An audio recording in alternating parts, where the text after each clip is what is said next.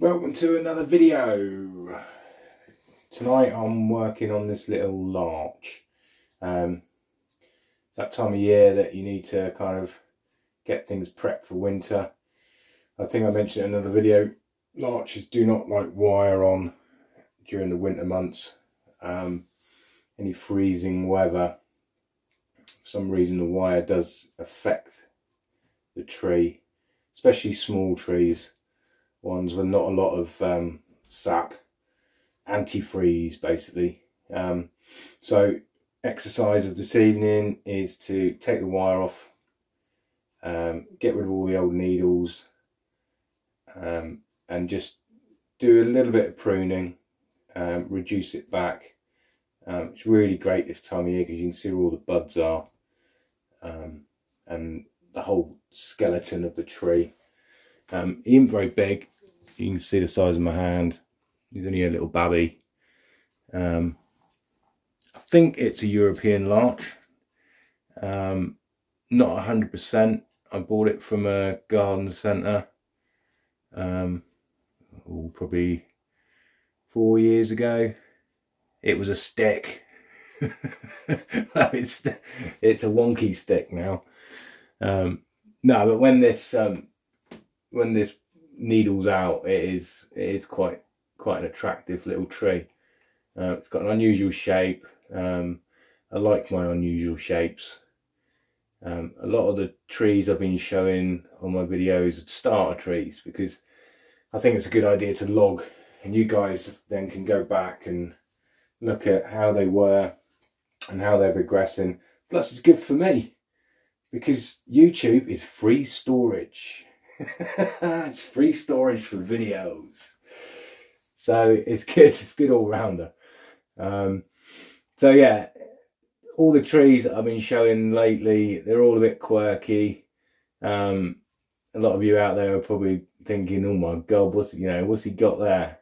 But the thing is, the way I look at it is, um, these weird and wonderful trees that you see, um, they don't start off as your bog standard bonsais. It's just, it's impossible to create some of these masterpieces just by sticking to the rules.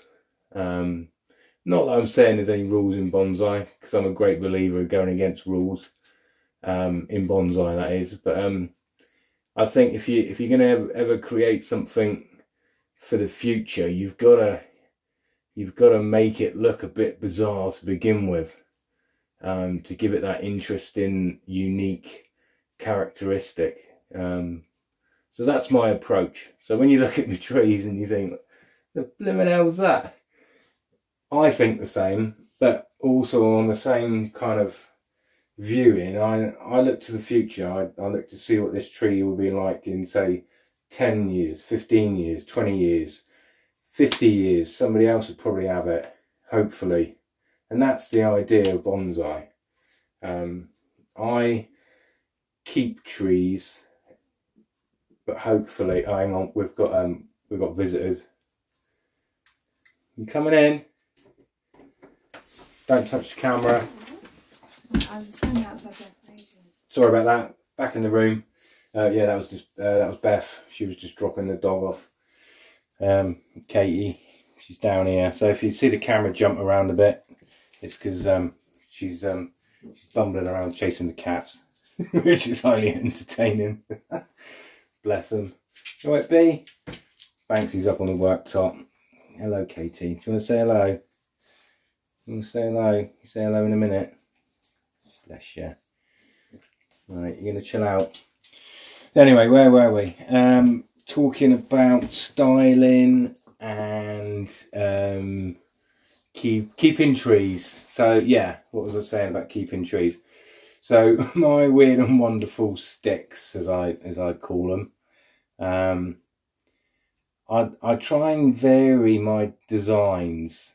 Um, try and vary it as much as I can, um, because I think it's it's very important for future future development, future styling future characteristics of a tree. It makes it unique. Um, I'm not to say, you know, I'm not saying that this tree will always stay like this. Um, a lot of trees don't because they live for years. Um, but my my philosophy of bonsai is to um, look after and maintain the already matured trees the best I can um, and not get carried away with them, i.e. don't change the design. Um, or starter trees, I like to push the boundaries of of what I see. Um, I'm not saying that all the trees you see in the world are, are all the same. They're certainly not. But um, my idea is that you, you need to push design limits. Um, some work, some don't. But it's not to say that the ones that don't work won't work one day. that makes sense. Um, so anyway, that's that's my view. Um, that's my approach really. Um, and hopefully, say one day, somebody else will have this tree um, in 50 years' time. Um, it won't look anything like this, but it might have the a, a similar structure. Um, so yeah, that's that's my outlook. So don't be afraid of really pushing the boundaries and trying to design something a little bit different. Because um, I think, although it's not really appreciated now, one day it possibly could be. Um, and that's yeah, that's my outlook on bonsai. Um, almost like leaving my own stamp on something. Um, my own stamp on sticks. Brilliant. So next step, I think, in this video, what we're going to do, um, I'm going to stop waffling on. Um, I'll set up the camera a little bit closer and then we can look at this tree in detail. Um, and then just give it a, a once over, tidy up. We're certainly going to take the wire off. The pruning side, we'll probably just take off um, the dead, the dead that we don't need. And also just a couple of small um, nips here and there. I don't want to leave too many open wounds because I say they're they are quite sensitive for the for the winter months. So I don't want to leave too many wounds open. Um, there's the dog. right, Katie? Hello, babies. So yeah, that's what we're going to do. So we'll come back in a minute when everything's set up. Um, I'll feed the dog as well. You want some biscuits? Yes. Okay, right. See you in a bit, guys. Right, we zoomed in. Um, I think the first thing we're going to do is just nip this wire off. Um, the wire hasn't been on that long um, this year. I've I've wired it every year. I've had this tree. Um, but as I say, because I take it off annually, it doesn't always set. And I say that it's, it's quite an extreme bend in it. Um, but that's okay because I don't want to damage it. Um, I don't want too much cutting in, although larches do um, do heal well. Um, you you can get some quite um, odd looking inverse tapers when they do um, heal back.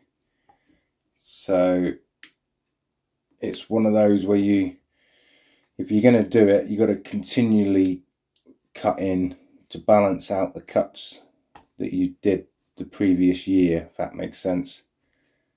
Um, to have one one wire cut all the way up the trunk, it does look odd.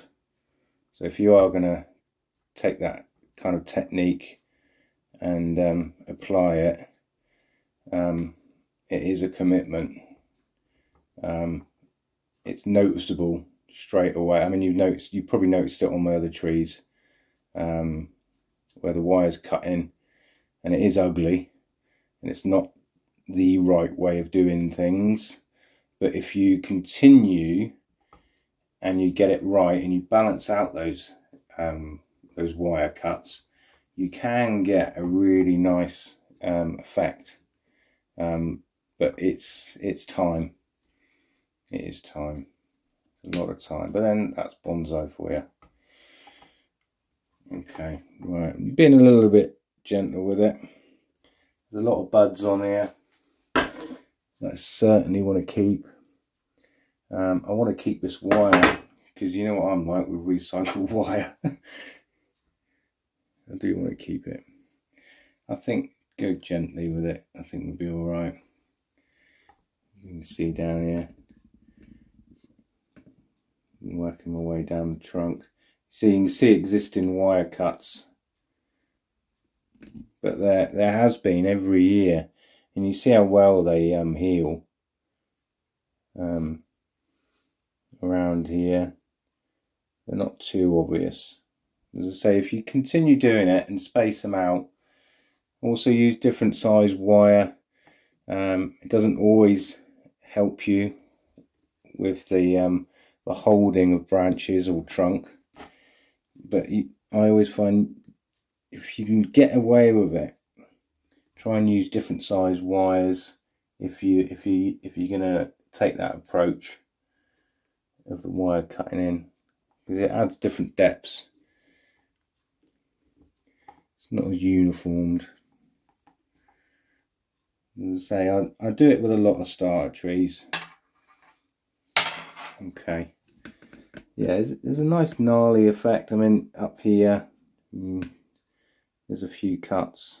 But this is um, this is very recent. You can see others all the way up, all the way up through. But they'll heal and they'll blend in. They'll give it a nice gnarly look. All these little lumps and bumps can add to it in the future.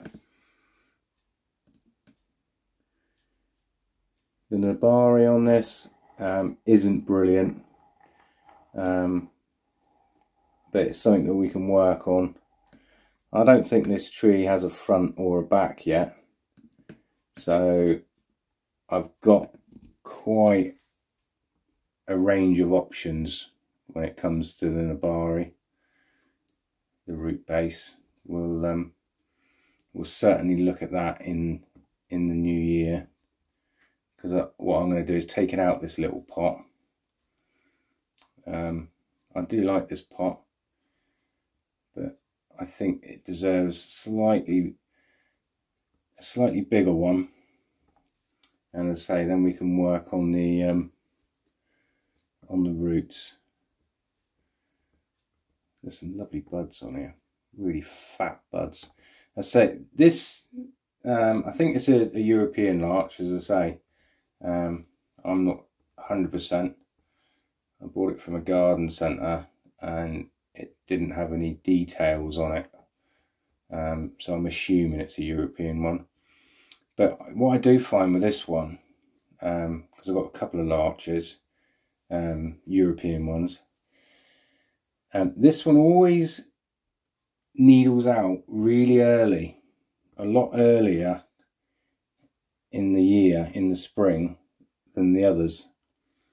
Um, it just, I don't know, it just seems to just want to get going really early. Um, even when the temperature's still a little bit cold. But consequently, it loses its needles um, early. So this started losing needles probably, I'd say about a month ago. Yeah. Um, when you look at the other larch, the big larch outside on the wall, um, that's still got um, bright green needles on it. So, don't know. Not sure. Maybe that, I mean, somebody out there might go, oh, it's because it's it's not a European. It's mm, I should look into it really. I should do. But um, yeah, he um, he always needles out early and gets rid of them early. But he's done it every year, so I'm not, not concerned.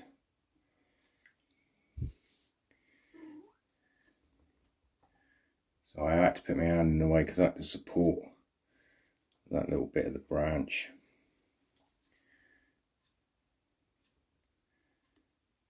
So there's some really fat buds on this. They're looking good.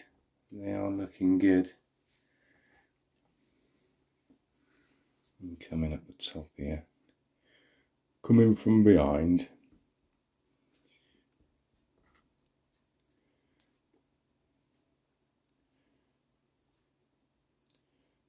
Yeah, I do. Um, I do like working on larches. I love the vibrance of them. Love the bright green in the spring.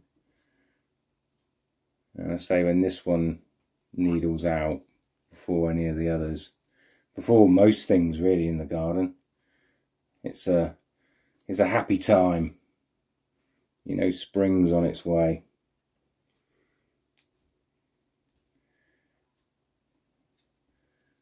Okay, right. I don't think I'm going to go to the extent of um, trying to get every bit of wire off in the hole. Um, sometimes you've just got to sacrifice a bit of wire. I don't want to damage any of the buds. Also, it, it has slightly cut in again, slightly, not a lot. I'll just nip it nip the wire.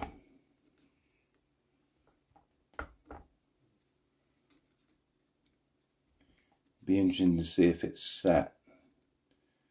Um, when I um, wire um, certain trees especially this larch because I know the wire isn't on that long um, there's a possibility it won't set exactly where you want it to. So very often um, go beyond the point of where I want it. So when the wire is taken off, as it settles in, settles back, it goes into the position roughly where you visioned it to be. I do that with a privet as well, the old ligustrum. Again, I don't like to wire that um, too much and I don't like to leave the wire on it because it cuts in. Um, don't want too many scars on the privet. But because of that um, I do find that when you take the wire off it generally goes back to exactly where it was when you started which um, is annoying but you know the tree's only doing what it wants it to do so you can't fight it got to go with it.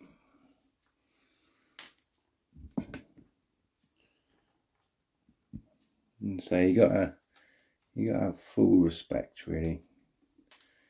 You're trying to make the tree do something it doesn't want to do. So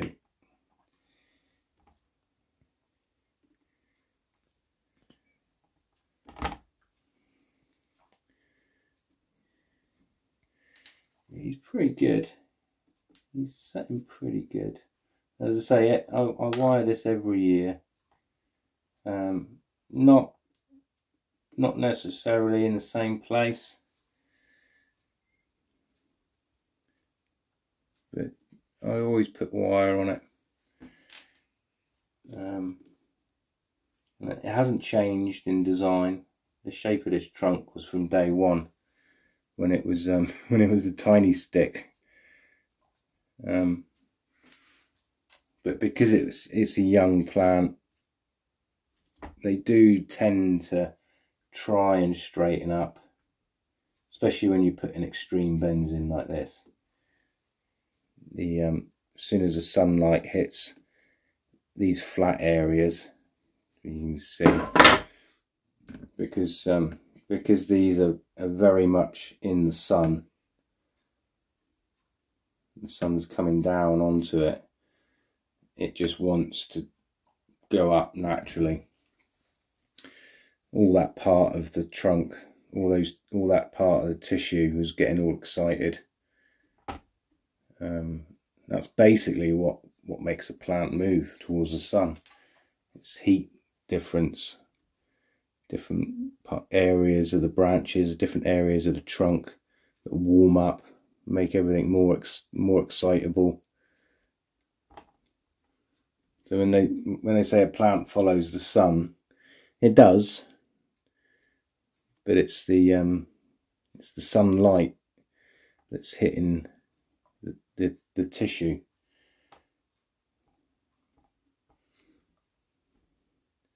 I always I always imagine it a bit like those you know those fish that you get in you used to get at Christmas time and Christmas crackers.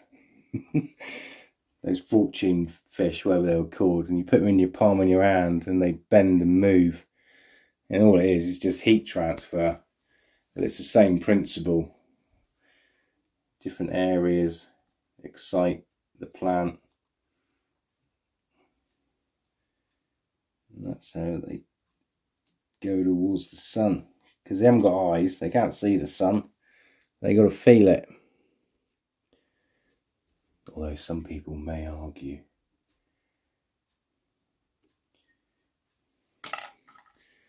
Right are we looking? You see there's a, there's a few lovely buds there aren't there? Few lovely buds. God, this tripod keeps stiffening up. I'm gonna have to get some get some oil on it or something. When you were quite close here, this is proper close camera work. This is liking it. I've been looking at um, backdrops um, because although the bamboo, when I'm working on trees and the bamboo's in the background, it looks great. But when I look back on videos, because of the way that um, everything is digitally done nowadays, I do find that the um, some of the twigs and fine tertiary branches clash with the bamboo in the background. So yeah, I've been looking at different backdrops. Um, so black is definitely on my list. I'm going to get some black cloth. Um, I didn't get any today because I was setting up this table. Got a new um, work surface slightly bigger than the other one. Well the other one's in the background as you can see it's the white one. But um, I had an old desk in the shed and um, it's much bigger. And also it gets me out the way believe it or not some of the videos I'm in the way and I do apologise it must be really frustrating for you guys. Get out of the bloody way. I can just imagine you not shouting at the TV or your phone. It's in the way again. So it's all trial and error. It's all trial and error. But yeah backdrops. Gonna look into getting some some black cloth um, and just make a frame up. Um, it was nice the other day working on that um, procumbens outside. Um, I say that the weather's been absolutely rubbish lately. It did actually start raining when I was doing that, but um, I persevered So yeah, hopefully the drier weather. I don't mind if it's cold out. It's fine. Cold weather doesn't bother me, but it's just the wet. Really annoying. How are we looking on this camera? Because it's so close. I did have a word with Beth actually when she dropped the dog off. And I did ask her very nicely if she if she wouldn't mind um, doing a bit of camera work. She agreed, which is good. She's good girl. Yeah, it would be nice. As I say, this is all all new to me. Oh, hello. That's how close the camera is. Bashing it. So it's all it's all new to me. Not one for cameras and all that.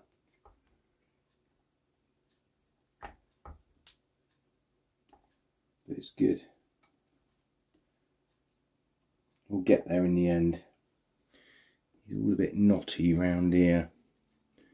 Trying to be so careful not to damage any of these little buds.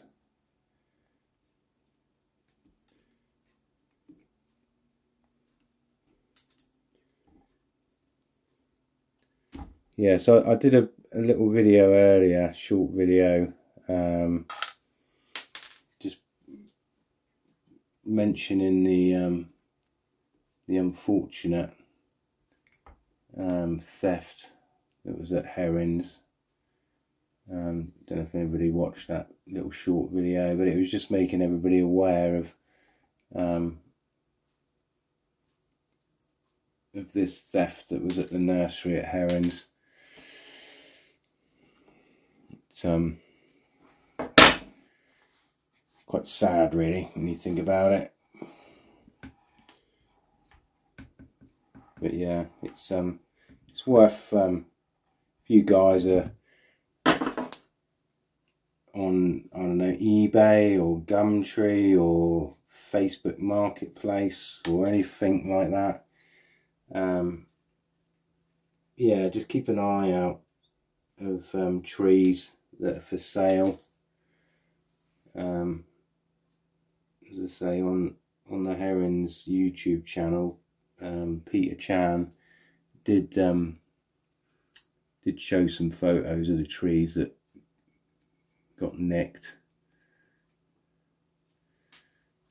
Yeah.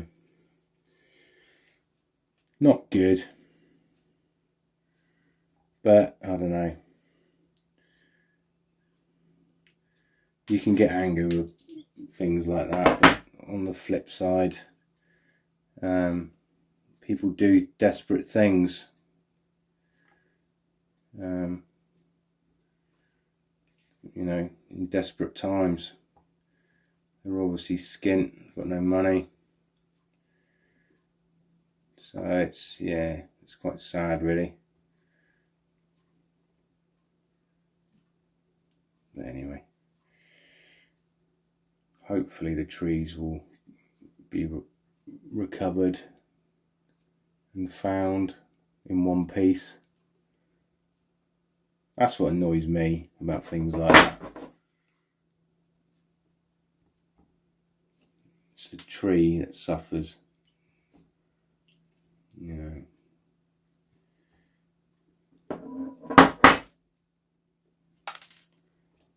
Right, how are we looking down there?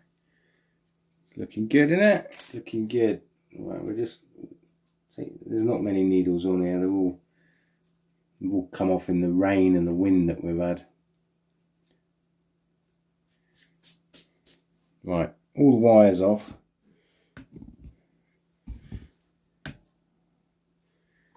There's a few little draggy, spindly bits down here. There's there's a bit of um,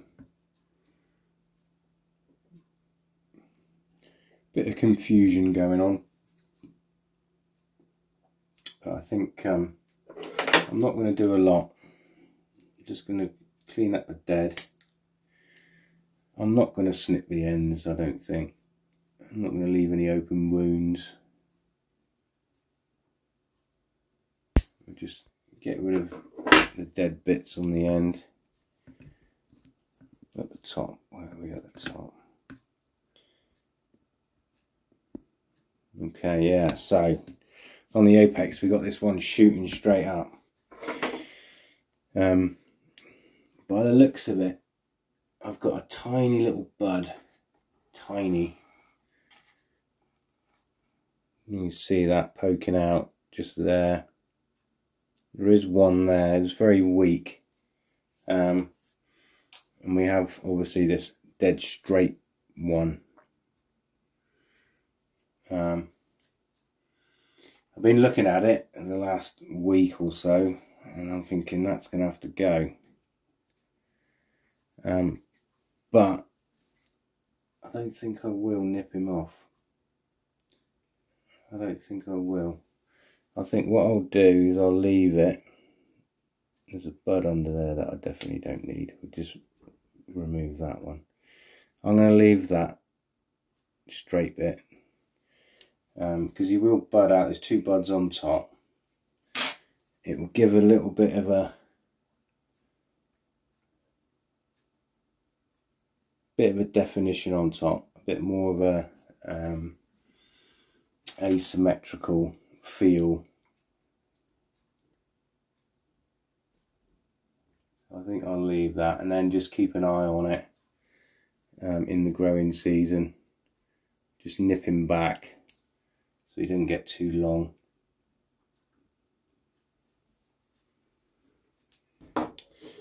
Yeah, basically just have a good old clear out.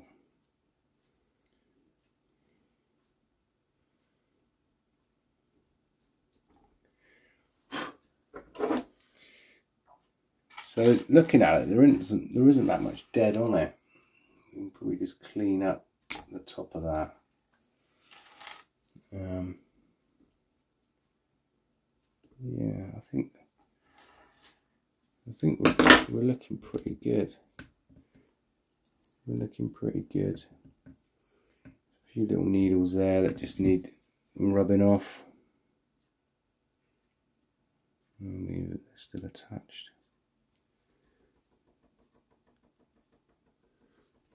Okay. Well, I think we'll leave it like that. I say I don't want any open wounds really on the ends of these um, fine branches. So they're very sensitive in the winter. Right. Okay. I think we're looking all right. We're looking good. A few needles under there. Might as well get rid of them blow them off. Here we go. Right, we'll zoom back out, um, and I'll I'll do the rest of the filming by hand actually, and we can actually get in there and have a good look. Because at the minute it's quite a, a two-dimensional view on the camera. So bear with me. I'll have a tidy up, and we'll come back. Okay, so there's a top view of the tree. Um, he's gone back a little bit. This one was more more in, but that's fine. Um, could do a pull in a little bit so this angle isn't the same as this curve. But at the minute, I think um, he's looking quite quirky for a stick. Um, as I say, the amount of buds on here, they're everywhere. Now obviously I won't keep them all. But generally what I do is I just let it needle out and then remove them through the growing season, the ones that I don't need. So yeah, it's quite a quirky shape. From all angles it looks good. This one's a little bit long, um, but I think it's sacrificial at the minute. Um, it's drawing up a lot of energy through this branch or through this part of the branch um, and I want back budding um, so what I'll, I'll do the same I think I'll wait until it all needles out and then just reduce it down to the first two nip, nip these off and then hopefully it'll um, create a little bit of back budding um, there are a few buds along there. New one there. Just bring it in. There's a bit of a weird scenario going on here. One coming down, one going up. Um, but yeah, all in all, I think I'll leave it um, and see how it settles because it might settle down over the next couple of days. Now I've taken the wire off. He's quite long that one when you look at it. Bring him in. But that's something we can deal with. So yeah, there we go, little little larch. Um, I say I'm not sure what type of larch it is. I think it's a European. I'm guessing. But um, yeah, lovely little tree. So there we go. He's all cleaned up, de-wired. I'll put him um, on the bench. Generally, I anything I think is a bit um, vulnerable, um, like this and white pines, things like that. Um, I tend to um, leave them higher off the ground in a sheltered area, um, so they're not ground level because ground temperature can very often stay cold through the day. Um, whereas if it's off the ground on a bench, on a wooden bench, um, the sun warms it up if, if we ever get any sun. But um, yeah, basically keep it away from ground temperature. Um, keep it out the wind. Keep it out of cold wind and all that. Um, yeah, so I think, again, this tree is going to be great in the future. One to to revisit definitely um, we'll source another pot for it although I do like this pot it's quite a nice little semi cascade pot um, but I think it needs a something a little bit bigger um, different shape as well um, but we'll we'll try a few things in the spring I am collecting pots I have been for ages um, any little pots and or big pots um, that I'm fortunate to either purchase or acquire. I have been collecting a few, so we got a good selection in the spring um, to play around with things. So yeah, there we go. One little larch. Thank you very much for watching, and I'll see you again. Cheers, guys.